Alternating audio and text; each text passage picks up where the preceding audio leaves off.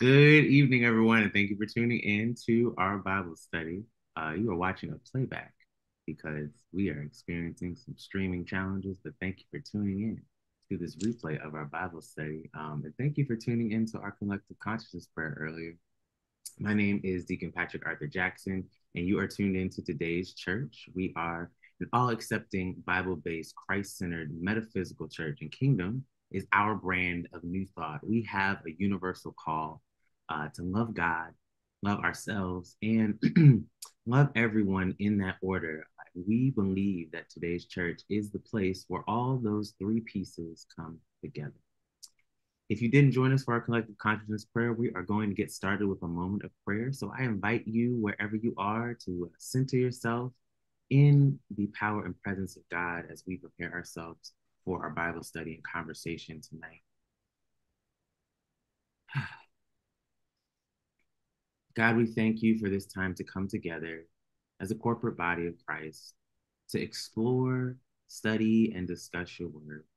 We bless the speakers tonight, the facilitators, the participants, those who will sit in conversation, those who may sit silently and ponder their own questions, those who contribute to the conversations, and those who will watch this replay as it streams on our social media channel. We hope that the words and the lessons that we learned tonight can not only be lived today, but continue to be applied to our lives each and every day following. It is in the name and through the power and the consciousness of Christ Jesus that we say, It is so, so it is, and so we let it be. Amen and amen. Well, we are back, back, back again. Uh, we have been away uh, from our traditional Bible study, but if you have been tuned in um, on the Today's Church social media channels or um, on the Kotech Family Facebook group, you have seen uh, that we uh, were honored to have our Vicar General for the Church of the Everlasting Kingdom um, and Elder Designate uh, Daniel Rogers um, as facilitators for uh, the past several weeks during our Lenten consecration. So we blessed them as they return to their uh, Bible study for Beyond Church the talk tonight. Um, and we are back to our Bible study. Uh, we are continuing in the book of Matthew. Looks like we got halfway through before uh, consecration, and we're on the back half. So if you are familiar with Matthew, it's one of the Gospels uh, that kick off the New Testament uh, in the Bible, and it uh, tells the story of uh, Jesus from the perspective of Matthew, uh, because there are three other perspectives that we will continue to explore after Matthew. Uh, and we're in the back half, as I said, um, we are exploring some of the some of the signs uh, and some of the parables uh, that Jesus uh, spoke um, in this back half of Matthew. And I promise, I I have some good old conversation to have with our, our facilitator, our loving shepherd mother, Deacon Renee Denard. How are you, uh, Shepherd? I was gonna call you Deacon. I'm wonderful. I call you everything. How you doing? I'm wonderful. I am absolutely wonderful.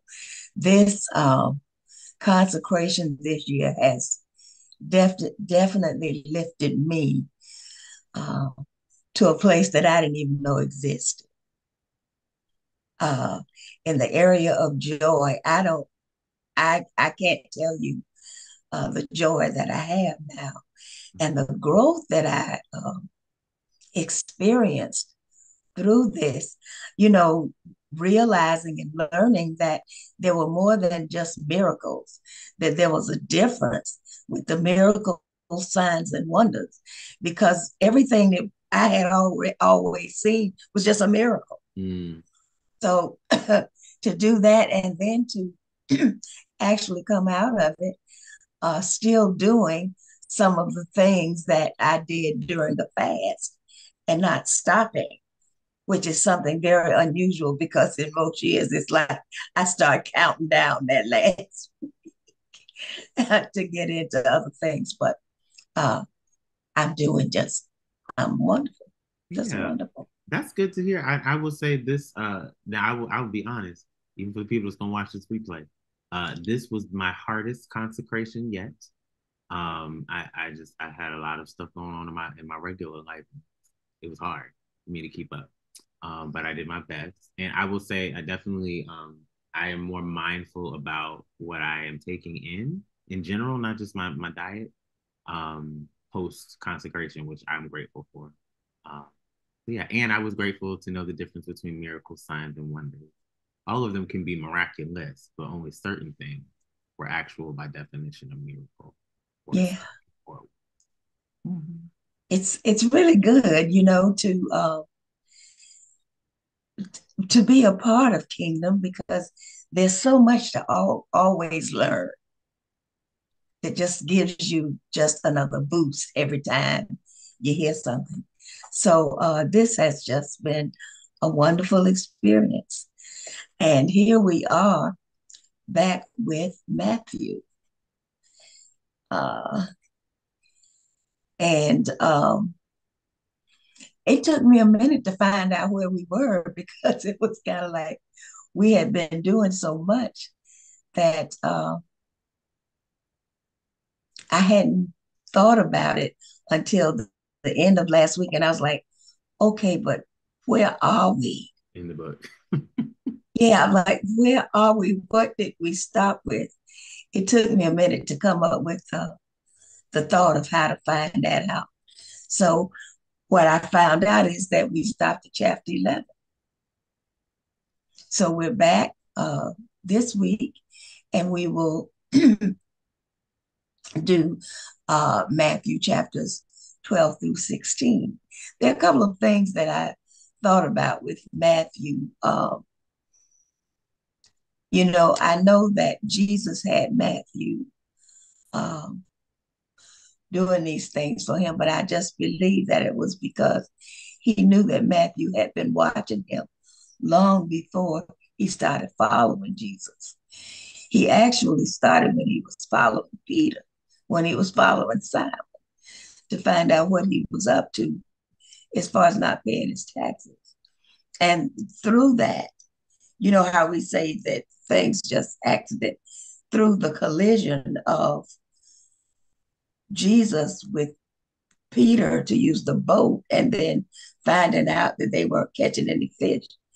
And with Matthew up on a mountain, spying on Simon, he was able to witness what Jesus could do. Mm-hmm. So it's it's really something to know that uh, Matthew had been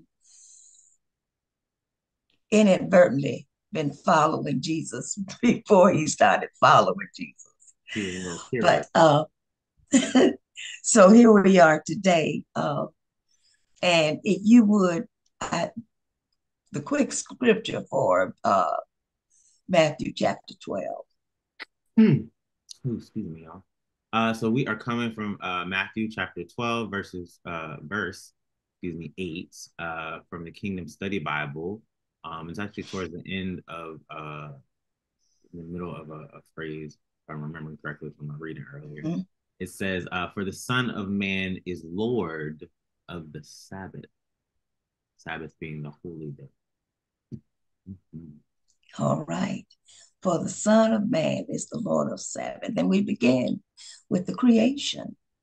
We begin with knowing that we were created that things happened according to God's plan. We were day what? What day were we? Him, Shepherd. On the first day was the heaven. Come on, somebody. I know you know what day we happened. I see, see, see, Deacon Naja just sipped her tea so she wouldn't have to answer. No, well, she's through sipping. Come on, y'all. On the first day was the heaven and the earth. On the second day. Okay, I want to know. I, I don't. I didn't ask you all. was it was it day six? Was it day seven?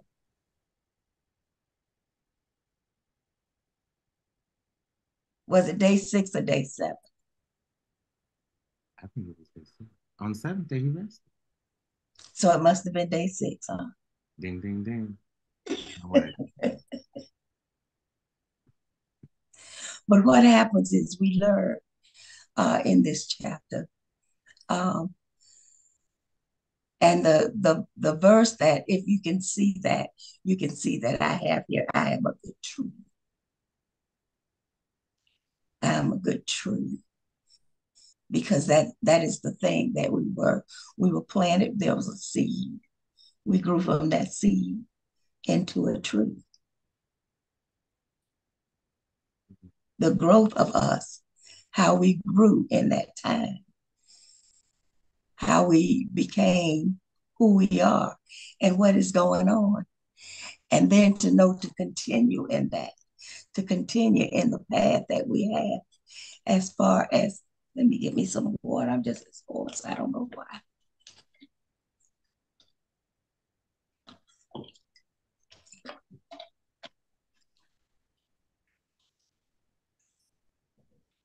and continuing in that and continuing in what we were created to do with the purpose that we have, with whatever our purpose is. Each one of us has one. And knowing what that is allowed us to continue in that and to be able to grow and come to a decision as to what we were going to do and how we were going to be.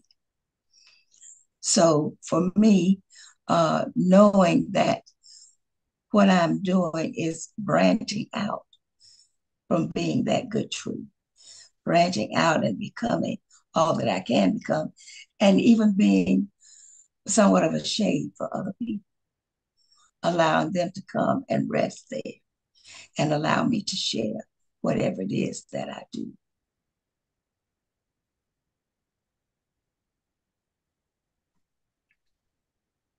silence. Shepherd, I have a question. The the Bible study sheet I have has different points on it for the first one. Okay, let's see. Did I send the right? Okay, here I am. I, Welcome I, to my world. Well, I have the rest of the the rest of the chapters on on that page on my page are the same. Mm-hmm. It's this first one. Okay. Let's see. Let me see. Okay. Let me check something. That's why y'all sitting there looking at me like that. Well, yeah, I have. Oh, I take that back. Maybe not all of them are matched, but the I grow like is the same for me. The scripture is the same. Okay, you have. Okay, I I see what you have. You have greatest here. Mm-hmm. You have greater zeal. Okay, well, you go ahead with that because I'm I can see that you're prepared. I was, adjusting my to match your song. if you stop sharing, I'll share mine. Now, okay. Has All right, we can do that. So just ignore my notes.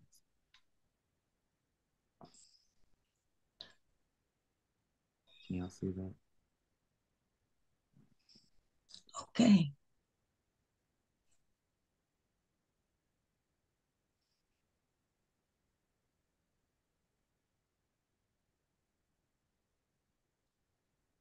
Greater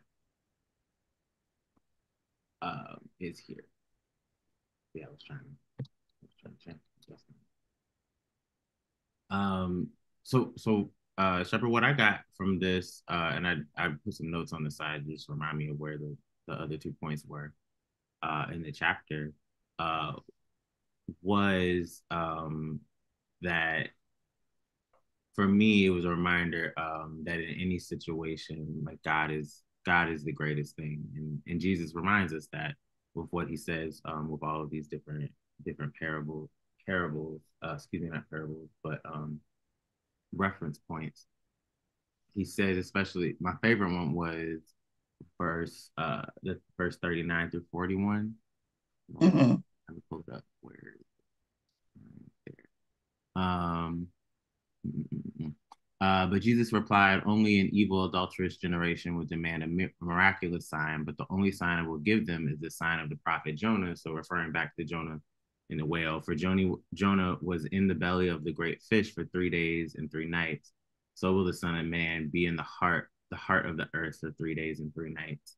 Um, and the people of Nineveh will stand up against this generation on judgment day and condemn it, for they repented of their sins at the preaching of Jonah. Now, someone greater than Jonah is here, but you refuse to repent. Um, so he was, for me, it was really showing like even in even in people's doubts, the goodness is here, the, the greatness is here. Um, and even even in the presence of their doubtness, their doubting and their naysaying, um, that I can lean into that that greatness um, for me. Uh, and we see it again uh, later on.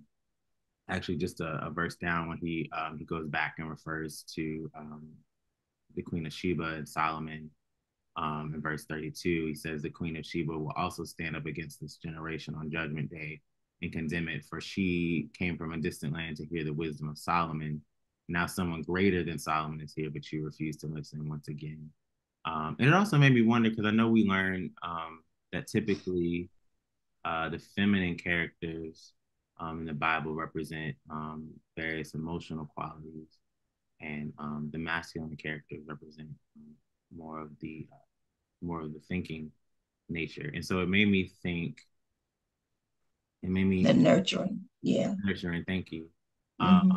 and it made me think, uh, like what, as Jesus was saying, that, like what, why specifically did he he choose the the story of Solomon and the Queen of Sheba, and like what was his intention? Um, what was his intention? But besides like connecting that parallel back, um, back to the Old Testament, I was just I was just curious. That was my question for tonight. I was curious. Okay, well, um, let's look at that.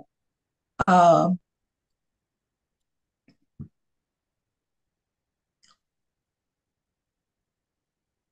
there is a nurturing in it because of the way that she had the compassion for what she was doing for her people and how she was following Solomon.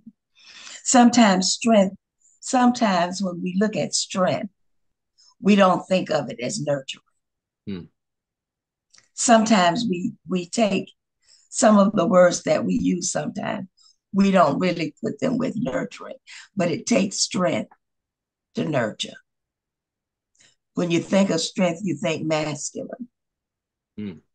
When you think of uh, wisdom, a lot of times you think. Be respectful. Yes, thank you, Kenny. Oh, by the way, if you if you real if you real, can you wait for me out there back? I take my dog to the bathroom. We'll be right here, Kenny. We'll right. Thank you. So a lot of times I think that uh, when we think of strong women, we take them out of the picture of nurture because of the word strength. But uh, it takes strength to nurture. It takes a lot of strength sometimes for you think about uh, with our mothers, our aunts, people like that, who were actually nurturing us, but were very firm. So I think that when we think of uh, when we think of the Queen of Sheba and her story, we do think of a more of a masculine person because of her actions. But at the same time, those actions, we're into that both and mm-hmm. instead of either or mm-hmm. with her. Mm-hmm. Does that make sense? Absolutely, yeah. Thank you. Mm-hmm. Okay. Did anyone? Did else? that make sense? Okay. All right. So I don't know how I did that there. That uh, how I got two different things. I've got a new computer and I'm working with it. So it's all good. It happens. That's mm-hmm. why teamwork makes the dream work. Absolutely. So I've got the same for the other ones, right? Uh, Let's see. Yeah. No, because I think that uh, chap. Oh, I'm trying to scroll it down. We'll I think that chapters 15 is different too. The we'll, points are different. We'll work through it. Yeah. Okay. So let's go on. Uh, I grow like in Matthew chapter 13. Mm-hmm. Deacon Cheryl, would you read that scripture for us? All right. But he said no, because while you are pulling up the weeds, you may also pull up the wheat. Matthew chapter 13, verse 29 from the Kingdom Study Bible. Hmm. And we know that story very well. And the understanding of it is making sure that uh, we let them grow all the way up so we make sure we don't pull up the wheat with the seed, with the um, with the weeds. So I grow like one of the things that happened is we were seeds. God planted us, God brought us here, and we were seeds in the ground, making it possible for us to grow into whatever it is we desire to be, and in a way that allowed us to become whomever we desire to be, making sure that no matter what, we could grow, but we had to make sure it was the right seed. We had to make sure that we were doing that. And as we grow, there are always going to be some weeds in it. There are going to be some weeds around us. We have weeds around us all the time. Mm. But at the same time, we outgrow them and they're recognizable. You can recognize them. Sometimes it doesn't take too much either because of maybe sometimes like what they say or what they do or how they feel about a certain thing that allows you to know okay this this this isn't growing with me. This isn't something that is growing with me. This is something that is in the ground next to me that's growing up beside me but this is not the thing for me. And the same thing i grow like a mustard seed. As small as the mustard seed is, it grows up into. I saw when the first time I saw a big mustard tree, I couldn't believe it because I never thought of anything but the actual mustard seed. Because when I was growing up, it was a thing to have a bracelet with a mustard seed in it or a necklace with a mustard seed. But I never had taken it to the point of realizing, even though I had heard if you have the faith of a mustard seed. It just hadn't come together yet. But when I saw that first picture of the tree, it was kind of the same thing like with uh, an acorn. Hmm. An acorn becomes a mighty oak tree. And when you look at it on the ground, it doesn't it doesn't seem like that's what it's gonna be, but that is what it is. It makes me think. So we grow into the things that we are meant to be. Even though some of that growth sometimes gets kind of mixed up, things happen. Yeah. But we also know that those things happen. Those things that are happening are taking us through that growth period and allowing us to be the growth that we need to be the yeast in the dough. The yeast is what makes the, the dough grow. You know, if this is like leavened bread, it's like the unleavened bread doesn't have the leaven in it, but the yeast in the dough allows it to grow. And listen, y'all know about my, I always say that I can't cook, but I had to stop saying I can't cook because I can cook. But I have done something where, where I thought that I was going to make my grandmother's biscuits.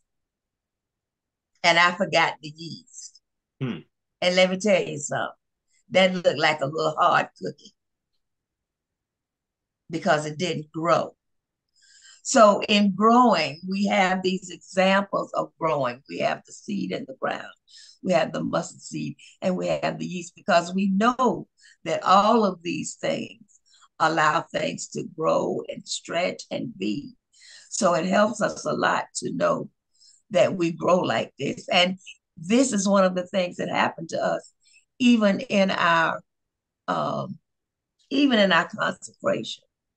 There was a lot of growth in our consecration because we did a lot more this year, I think, than we normally do uh, as far as uh, classes and experiences and and testimonies and all of the things that brought us to wherever we landed at the end of consecration. So that that was a the listen, consecration was a seed. Your your studying is a seed, your your meditation is a seed. Your stillness and, and movement is a seed. All of these things are seeds that help us to grow. Oh boy, but this next this chapter 14. Oh, John, I tell you. Najada, would you read the the uh, scripture for 14? His head was brought in on a, on a platter and given to the girl who carried it to her mother. Matthew 14 11, Kingdom Study Bible. Mm-hmm. All right, here we go. Don't let it go to your head. And, you know, we ask for some things sometimes because you we all know that John is the one that brought kingdom out in the beginning.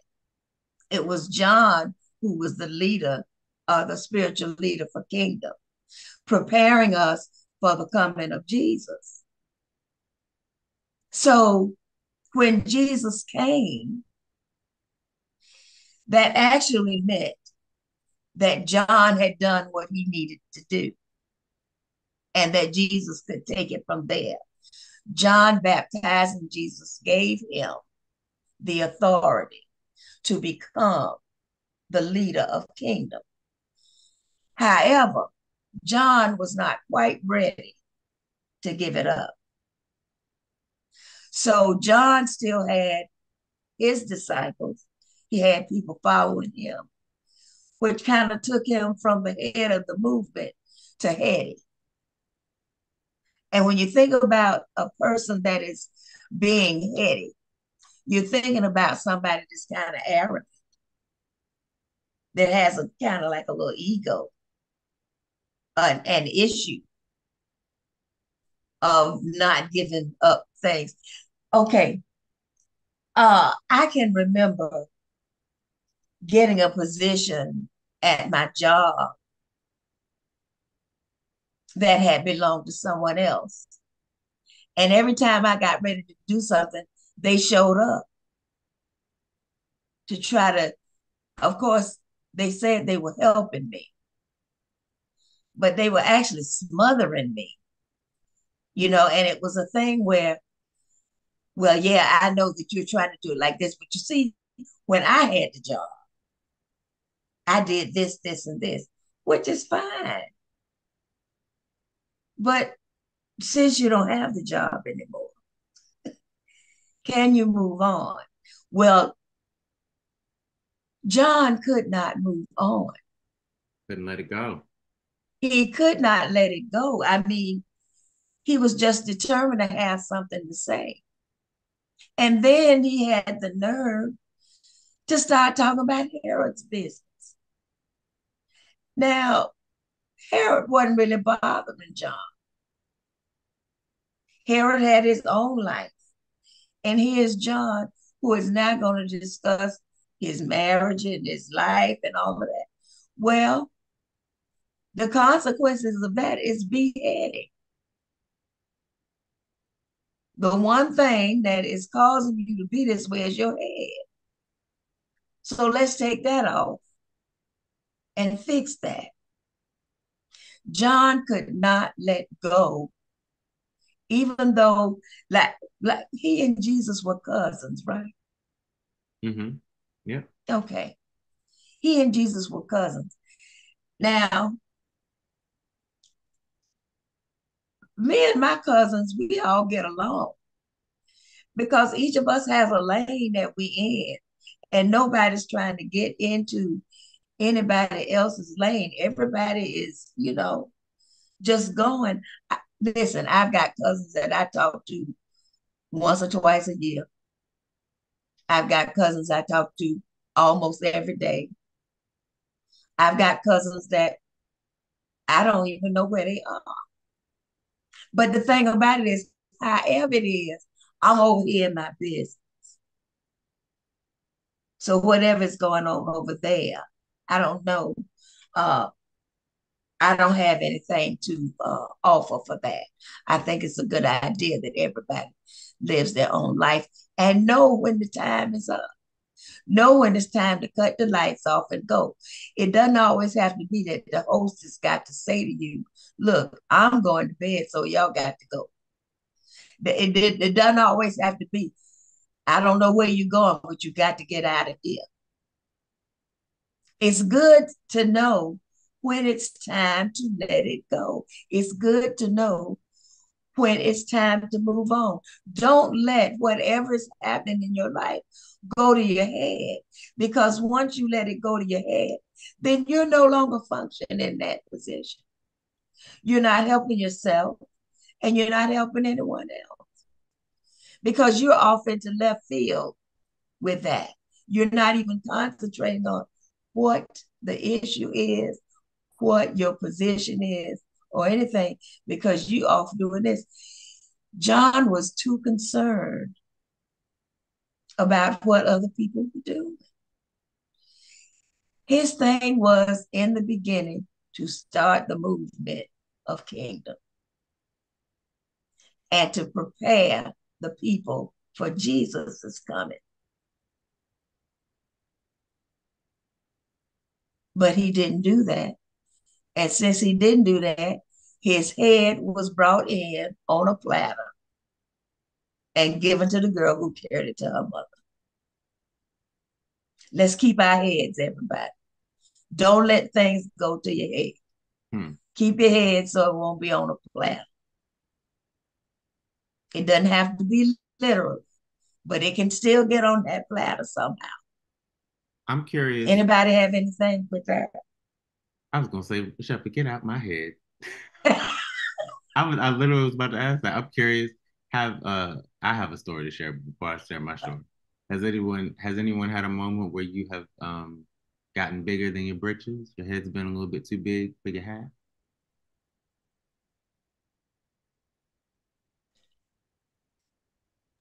I'm sure I, I don't I can't speak for nobody else, but I'm sure I've had numerous situations, experiences where that has been the case. And um, it's a lesson well learned and and oftentimes I wish that I had had the foresight, but it turns into hindsight mm. when I'm when because when when when I am when I have had those beheading situations, it's been very humiliating and embarrassing. so yeah. So I've had those situations. I I hear I hear that Deacon Cheryl and I I I affirm and agree that I I have been there um, in some in some parts of my life, I'm still learning those things. Um, I've always been a very adaptable person, so like I, I'm a quick study, and so my my quickness often makes me feel like my head should be big, and so I I have often gotten my head cut off in, in many moments, and I find myself as I've gotten older and wiser and learned a little bit, um, I will stop in moments sometimes and be like, "Am I am I like being a little too headstrong right now? Let me just, Patrick, just sit here for a second. Just, sometimes I'll just say, just sit there and shut up, Patrick. Just, just sit. And if you need to say something, you can say something. I'm saying to myself, you know, you need to go and sit down somewhere. Okay, go sit. Sometimes I say it out loud. I will literally, Patrick, go sit down. Just, I'm. I'll oh, go over here. I'm gonna go sit down, y'all. I'm, I'm gonna just sit right over there. Y'all just let me know. No, you know, you know from the movie. Sometimes I just go to myself. Hold up, hold up, hold up, hold up, hold up. it can happen. It can happen. And since since we're living at a time where we really don't have to worry about uh, somebody actually bringing our heads to somebody on the planet, but we know that we know when it's that time we recognize it. The one thing that I know uh, with being uh, in kingdom, it hits us right. It we see it, we see it and say, "Oops, wait a minute, mm. hold up," like you say, Cheryl, hold up, hold up. Oh, that made me think of my stepson. I, I remember when James would get ready to reprimand him, he go, hold up, daddy, hold up, daddy. oh, baby, that's the wrong thing. My goodness. My goodness. My goodness. Oh, me. What about you, Najla? Well, at first thought I would say no, but I know I'm not being truthful. I know I'm not being truthful with myself. so um yeah, I have experienced that. And then you get em- get embarrassed and just kind of shrink down. Mm-hmm. Mhm. I've had that, I've had that situation where I really did want to be just into the ground away. Invisible? Like Yes. just disappear. Wait, you want to ask people what you can see me? Okay. Patrick, you want help? No, I'm good. I don't want help no more. Don't no thank you. No, I- thank you. I no. remember um I'm gonna tell this story real quick and I know we got two more chapters before um and I know there's a meeting at 8 Mhm. Uh but in in college we um the some of the section leaders for the band decided that uh our band director was not doing a good job at creating the drills and movements and, and writing the music and that we thought that we could do a better job. So we said, Great, y'all can write y'all can write the whole show for next week. Oh And- my And God. when I say the whole, sh- we didn't keep, he didn't make, he didn't let us keep anything. So we had to make a new dance routine. The, uh, the people who could write music had to write all the songs for the entire show. The uh, the dancers had to make. Okay, I, I'm back. Thank you, Kenny. Welcome back. Um, and I learned in that moment. One, we did we did realize who were the skilled people in the sec amongst the section leaders, which was a nice thing. But I learned I was like, oh, it's more to it than just. Oh, okay. It now, long story short, it ended up being fine because it was a group effort. But when I Yes. I said, I said, I will never, ever, ever, ever, ever do this again. this is not my gifting. I was like, this is, this is stressful. How do people do this? Yeah, because when you're looking at, when you're sitting there watching it happen, it just seems like it's so simple. Mhm. Oh, I could do that. Okay, well, do it. Eh, That's funny. Okay, let's go on. Uh, A deeper look. a deeper look. Mm. Yeah, I had some different points, but I don't know. God knows, God provides. Um, and I and Shepherd, I was when I was reading, I couldn't, I I couldn't find a connection with the point. So maybe your points might be right. Well, let me go and share my screen now. Let's see.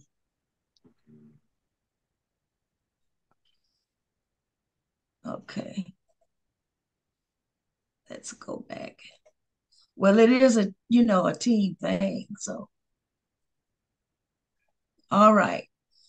So in mine, I have uh well, we can start with the uh scripture. Uh, but the things that came out of a person's mouth come from the heart, and these things defile them. Mhm. And these are the things that defile them. That okay, yeah, that makes sense. Yeah, it, it was a typo there. And these are the things that defile them. Okay, so we take a deeper look at traditions because we know that one of the big traditions was uh, before you eat, you wash your hands. And the thing was that they were looking at the disciples who did not wash their hands before they ate, and they were trying to make this be um, an issue. You know, that uh, this is something that is an outward thing. The things that we're dealing with come from inside of us. There's nothing external that we're doing that can supersede what is inside. Mm. And to believe that just because this is what people are already always done. What is the purpose? What what are we doing this for? Why are we doing this? What does it do?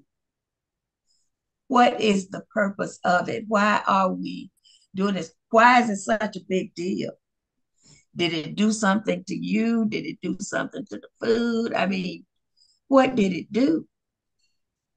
Be more concerned about the truth. Hmm. Be more concerned about that. The thing about it is, when we come, when we think sometimes of things that, well, we've always done it that way. But does that mean because you've always done it that way, that you always have to do it that way? How do we get to greater works? If we always do it that way, hmm. that would mean we would all still be running around here on donkeys. You know, sometimes it can go too far with a tradition. Mm-hmm. That's like even in your family, there's some traditions that I, I can remember just growing up. A tradition with us was supposed to be a family meal on Sunday at my great grandmother's house. But the meal was a family school class because we couldn't even say anything without somebody correcting us, which is okay at a point. But at some point, can I just eat the chicken? Do I have to make a speech? Do I have to say or something? Do I have to rehash what happened in school or whatever I won or did win in order to eat this chicken? I mean, really. So sometimes when we look at traditions, we need to know uh, how we're thinking about them. Is it something that really does something on the inside of us? Mm. Or it's something that's on the outside of us? Because truth be told, traditions don't always work all the time. You know, the KKK had a tradition of marching, marching up and down the street in downtown St. Petersburg. That was their tradition. So does that mean we should still be seeing them uh, do that? No. Things change. Mm-hmm. Traditions are good in some instances and other, and in other instances, it's time to let them go, especially when they're not coming from the inside out. When they're coming from the outside in, that's a different thing. You're doing this because of maybe something you saw on TV. But what is it doing for you? What is it? How is it preparing you and keeping you in your purpose? Cheryl, I see you coming off mute. I um I was particularly the, the part that stood out for me in this um, chapter was the fact that Jesus drew their attention to the law of honor your father and your mother mm.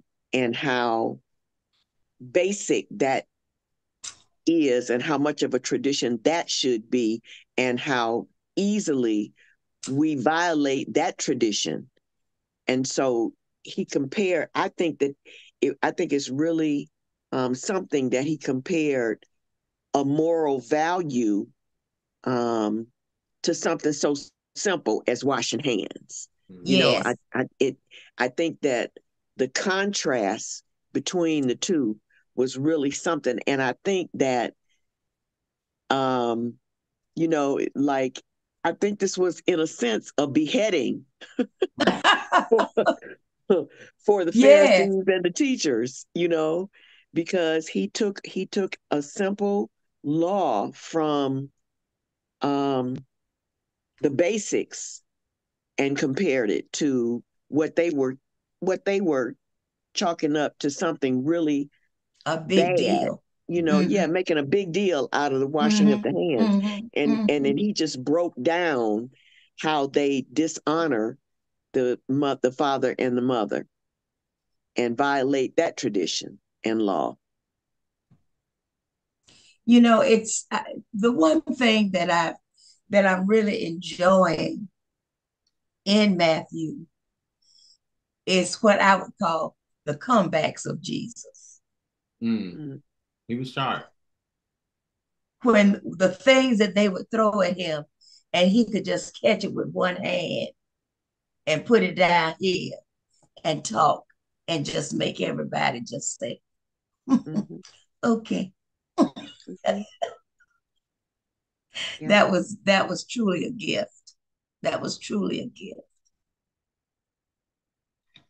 And then uh, what happens is once that whole argument goes on and on after a while, and you are shut up with the truth, then all that that you were saying just goes out the window and you lose. And that person, that whole situation goes in another direction. But again, uh, Jesus was really just was dealing with internal feelings and not some what you see outside thing. So it makes that difference all the time, all the time. So here we are. Anybody else got any comments? Kenneth, I see your hand. Um, what's C O T E K means? Church of the Everlasting Kingdom. Mm-hmm. Church in the Covenant Kingdom.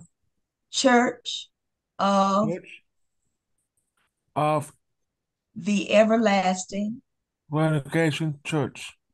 Kingdom. Kingdom. Why why Deacon Patrick? Yes, that's right. It's like a big, it's the big club that we are a part of. So COTEK is like the big club. It's like all the YMCA. That is C O T E K mm-hmm. means? Yes, Church of the Everlasting Kingdom. Mm-hmm it's the headquarters, and we are like one of the one of the regular locations under COTEK. Okay, so let's move on. Shepherd, do you want to do you do you want to save this one, or do you want to try to get it done? Do you want to? What time is? Oh yeah. Okay. Well, we can. Uh, that makes sense. We better, yeah, we better wrap this up because we do have a, a another thing happening at eight o'clock. I forgot. Okay. Well, this is our this is our portion in Bible study where we move into our giving ministry. There are many ways to give at today's church. You can find those at our website, today's church, Tampa Bay.com. Uh, the one that I will I will tell you tonight is to give on Givelify. It is a giving app um, that many spiritual organizations use. So please look for us there. We're also on Zelle, today's church, uh, Tampa Bay at gmail.com. Uh, so, in that mindfulness of giving, I invite you, um, if you're giving digitally, to uh, hold your phone in your hand and repeat our prosperity affirmation that I've been working on trying to fully memorize. So, I'm going to try it. Here we go. Uh, prosperity is a fountain that flows from our health to harmonious relationships to our wealth. Prosperity is always flowing unless we block it. I remove. I remove. Ah, so I remove. Mm, mm, mm, mm, we remove all barriers, blocks, and boulders. There it is and allow the flow of prosperity, uh, allow the, the flow of our individual, corporate, and collective prosperity. It is so, and so it is, and so we let it be. Amen. And Amen. Um, um, a few quick announcements, but before I jump to announcements, uh, Deacon Najee. I just want to be clear about the um, assignment for next week. Uh, we're going to start with chapter 16. So we'll do 16, 17, 18, 19, and 20. Okay, thank you. You're welcome. A few announcements. Before you go, tell Dr. Pori I said good morning. I will. You can tell them when you see them on the daily download tomorrow, Kenneth. Uh, a few announcements for those who are watching. I, I might be, I might be gone. Okay, that's all right. Let me finish the announcements, okay, bud? Uh, a few announcements for those who are watching this replay. It is the month of April. We are moving into a new name of God, Jehovah Jireh, uh, the provider, the God who provides. So we hope that you will join us for one of our three services on Sundays, our 7.30 virtual service on Facebook and YouTube, our 10.30 uh, St. Petersburg in-person service at the studio at 6.20. We hope that you will join us at our new location or our 2.30 afternoon service in Tampa, which is um, at 3501 North 26th Street um, in East Tampa. We um, also have our Today's Women's virtual uh, gathering is uh, returning this Saturday. So please join us right here in the same Zoom space. The same Zoom information that you use to log in for Bible study will work for that gathering.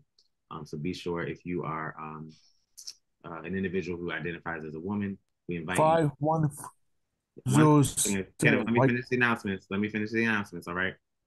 Uh, we invite you to uh, to come to that gathering. A is April is for anniversary. We're celebrating all the many anniversaries of today's church. Um, seven years of today's church being in existence, specifically our Tampa uh, flagship headquarter location.